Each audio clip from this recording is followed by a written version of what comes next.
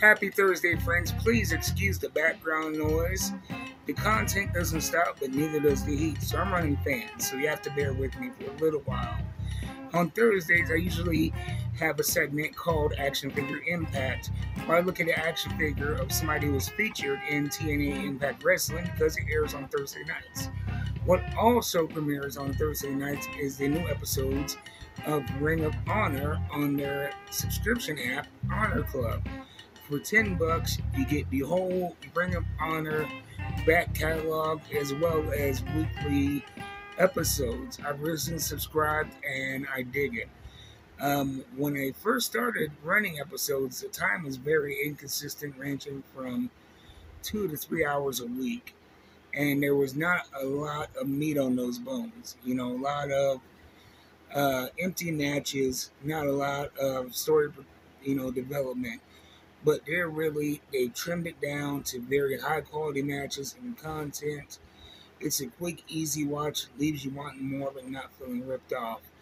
And so I want to talk about a wrestler who I saw on last week, Gran Metalik from CMLL. They have a working relationship with Ring of Honor. Now, most of you may recognize this guy from his time in the WWE Cruiserweight division, but he was a legend known as the King of the Ropes well before WWE.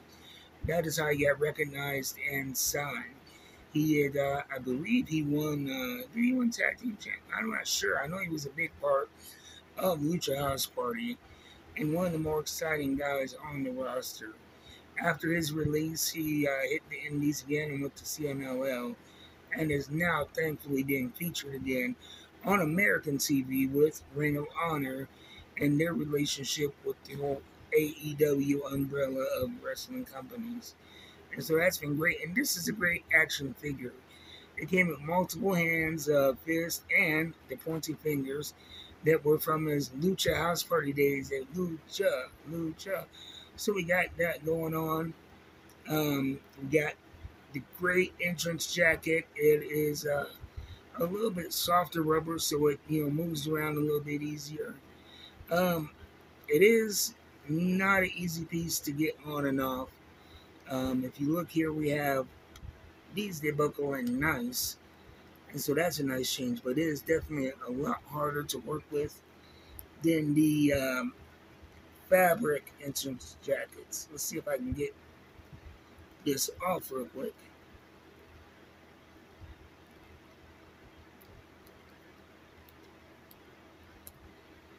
Here we go, and this is to show you um, the detail and design on this thing. This is a great figure for somebody who was never featured prominently on WWE television. Um, got the whole body suit here, the golden boots with the detail. You know, looks just like him. He have his hair coming out the back of the mask. You know, great detail, which is very important on the mask you know, because that is their signature. You're not going to see two masks that are the same unless it's passed down from one generation to another. And so this is a great figure. It is before they added the double joints in the elbow on the elites. And so you're going to have some limited motion, but it still looks great. I've used it for photographies. And uh, you can get a lot of movement out of this guy. Other than that, it has the standard elite articulation, the rocker goes back and forth, ball joint head, shoulders, uh, double jointed knees, no knee pads, so you can get full range of motion from those double joints. Overall, a great figure. If you can get a hold of one, I suggest you do.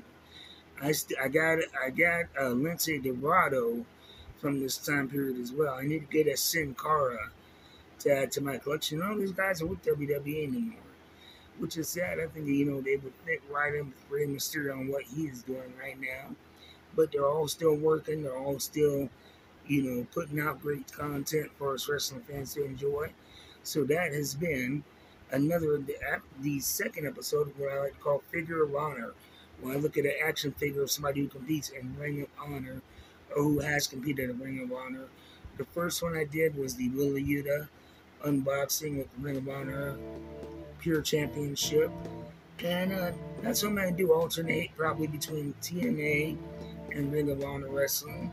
Anyway, you guys enjoy your wrestling tonight. If you're watching TNA, if you're watching Ring of Honor, if you're watching both, tell me who your favorite wrestlers are from these uh, smaller yet very important companies. You know, a lot of people they overlook these smaller companies because you know uh, all the money is in WWE and the spotlight and in AEW, but you know that talent has to start somewhere. And while both have training schools that they work with, you know a lot of the, a lot of the talent is going to be TV ready as soon as guys who are out there grinding in these smaller companies. So go show those shows some love. Like I said, Honor Club is only ten bucks a month, four brand new shows a uh, month plus, you know, the uh, pay per views. So this has been Figure of Honor, Gran Metalik.